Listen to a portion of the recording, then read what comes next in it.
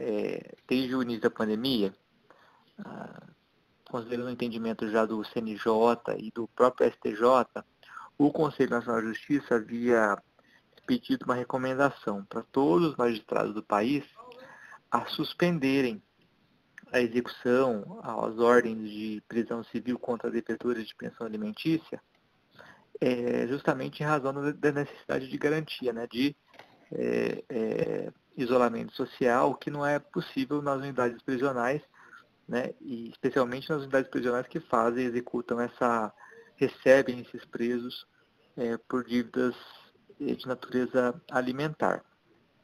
A novidade é que a semana passada mais precisamente no dia 3, o CNJ é, nova, novo ato normativo, recomendando que os magistrados voltassem, então, a, a decretar e executar né, as, as prisões civis para devedores de alimentos, justamente é, porque os efeitos, né, os, os motivos pelos quais é, haviam é, suspendido, né, determinada suspensão anterior, já não perduraria, perduraria mais.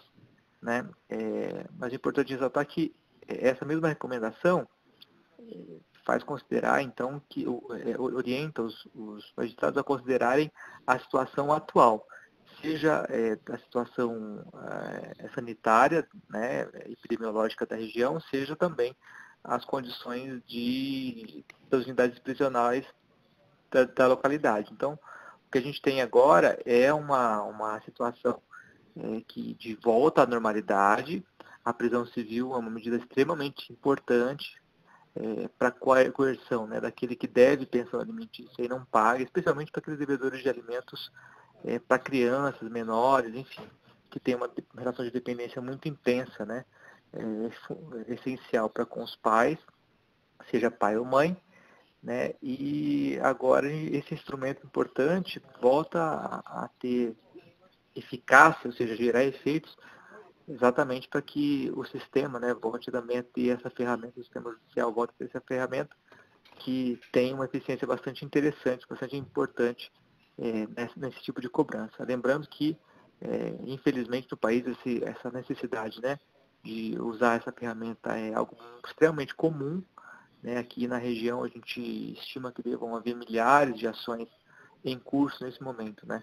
que é, seguem o rito da prisão civil né? e algumas dezenas, talvez centenas de processos é, em andamento que é, não tinham ordem de decreto de prisão civil, né? ou pedidos com decreto de prisão civil que muito provavelmente nos próximos dias vão passar a ter.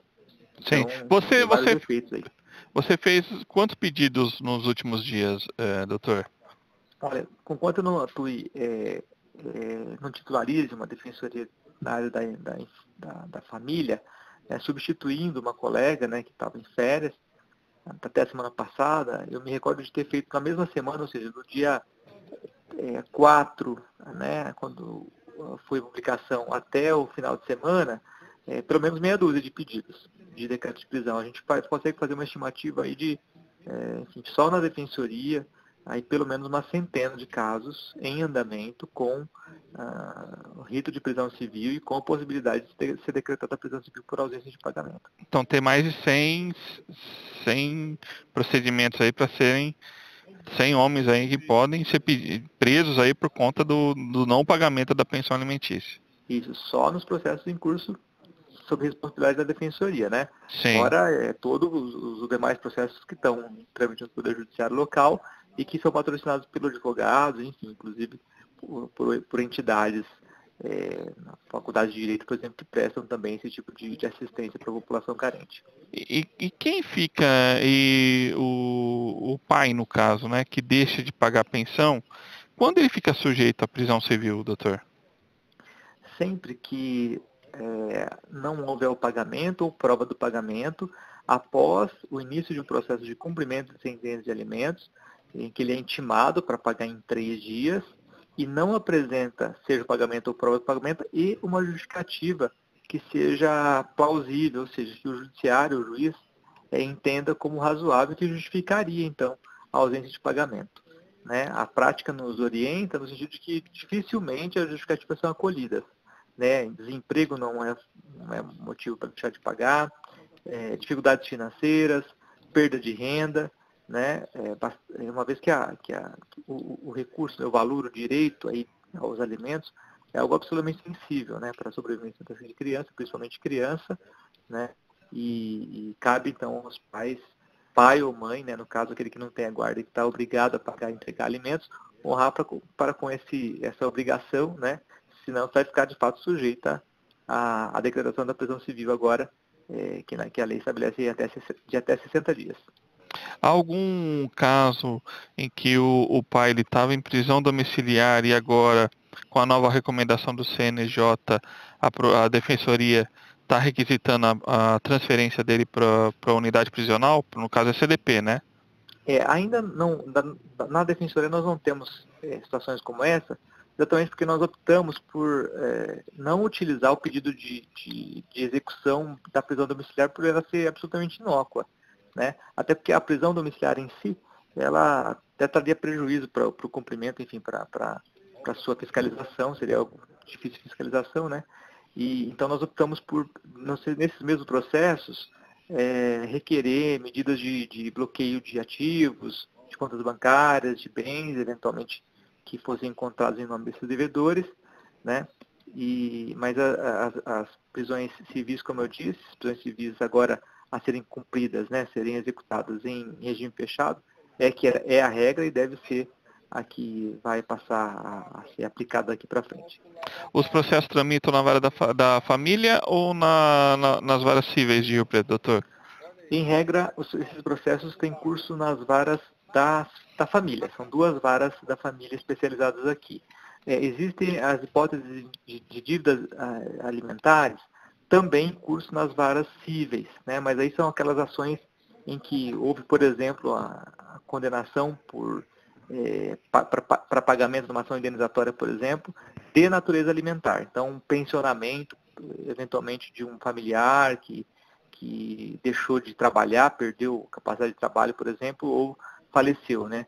E aí Sim. essa dívida, esse débito também tem natureza alimentar e pode ensejar a, a execução pela, pela da prisão civil. A, a mãe, as mães, no, no, no caso, doutor, ela, a defensoria tem esse, esse serviço, então, de auxiliá-la aí na, na, na, na busca do, do, pagamento da pensão, doutor. A defensoria oferece esse, esse tipo de serviço à, à população. Isso, inclusive é uma das maiores demandas que a gente tem em termos de atendimento inicial, né, atendendo serviço público, especialmente mães, né, que têm guarda dos seus filhos, eh, cujos pais não estão pagando, né? Seja porque não houve fixação anterior ou porque, em, mesmo havendo fixação anterior judicial ou por acordo, esses, esses devedores deixam de pagar. Então, é um volume bastante grande, inclusive a gente tem planejado uh, até a execução de, de mutirões né, de atendimento, exatamente para que os atendimentos sejam mais céleres possível e haja a possibilidade de início dessas execuções, dessas cobranças o quanto antes. E há represamento da, de processo, doutor, de, de casos, você falou em pelo menos uma centena, né? é isso, há vários casos, dezenas de casos que estão represados aí, que vão precisar da, da intervenção da, da defensoria junto à justiça para que essas crianças recebam essas pensões? É, na, na, prática, os juízos é, da família aqui em São José do Rio Preto são extremamente céleres as varas são eficientes e, e têm as, os cumprimentos das, das decisões, das medidas, enfim, os rodamentos dos processos são extremamente rápidos, poucos dias, alguns horas, alguns no mesmo, no mesmo dia que há o pedido, há encaminhamento é, para decisão. Né? É, nós temos um pequeno gargalo no atendimento inicial, justamente por conta da pandemia, né, que trouxe aí uma, um volume grande de, de demandas como essa, né, assim como ações de despejo, por exemplo, né, que, que traz uma, uma, série, uma série de dificuldades né, para quem recebe, mas principalmente para quem é, é, deve pagar, pagar é, mensalidades de, de, é, de, aluguéis né, e perdeu renda, perdeu emprego. E, e então nós temos assim lançado mão de inclusão de, de, maior número de atendimentos na agenda e estamos pensando inclusive em realização de, de mutirões para atendimento, exatamente para que o atendimento seja o mais rápido possível, ou seja, um passo de um mês né, no base de 30 dias né, entre o primeiro atendimento, o agendamento do atendimento em si, o atendimento e, e, o início do processo, do andamento do processo. O, no caso, o pai fica, ele fica detido, preso por quanto tempo?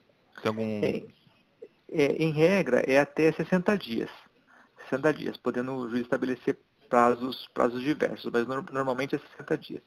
E se ele não pagar, nesse, nesse depois que ele é solto, ele continua não pagando, é preso novamente? Como é que funciona? É, pela mesmo, pelo mesmo é, período em que houve a prisão civil, é, ele não pode ser preso novamente. Então ele fica por um prazo de, como eu disse, de 1 a 3 meses, retificando, né? De 1 a 3 meses, de, ou seja, de 30 a 90 dias, em regra, que em Rio Preto os juízes costumam decretar é, o prazo de 60 dias, né?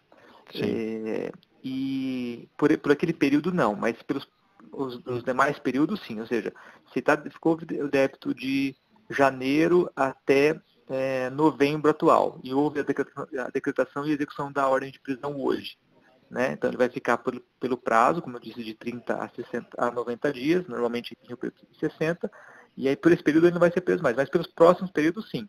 Sendo que aquele débito anterior, que ele passa a ser um débito constituído, e pode ensejar, por exemplo, a penhora de bens, o bloqueio de valores em conta bancária, né? Lembrando que não, não existe, por exemplo, é, regra da empenhorabilidade de bem de família, de veículo, né?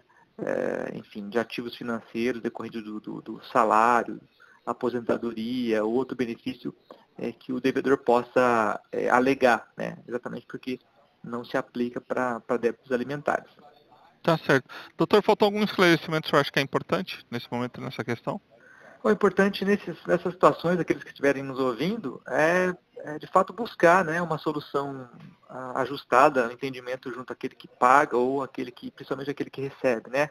As mães e pais, e principalmente as, as mães, né? E, e oferecer pagamento parcelado, é, restabelecer o pagamento, isso é o mais importante, né? Para que haja então a assistência desses filhos, filhos menores das crianças, né, principalmente crianças e adolescentes, né, e haja uma solução também para o futuro, né, de presente para o futuro. E aqueles débitos que eventualmente vierem a, a ficar, ficar é, represado, então seja parcelado ou pago de outra forma. Mas é importante que se restabeleça o pagamento, isso é mais importante por meio de entendimento, e evitar que essa medida tão é, gravosa né, chegue a, a, ser necessária e causa, de fato, uma, uma grande repercussão negativa para a família como um todo, enfim, para os pais, que também presos não podem trabalhar, não podem gerar renda, e, e dificilmente irão pagar o, o, aquilo que devem. Né? Então, fica a nossa orientação, nosso, nosso, nosso conselho nesse sentido.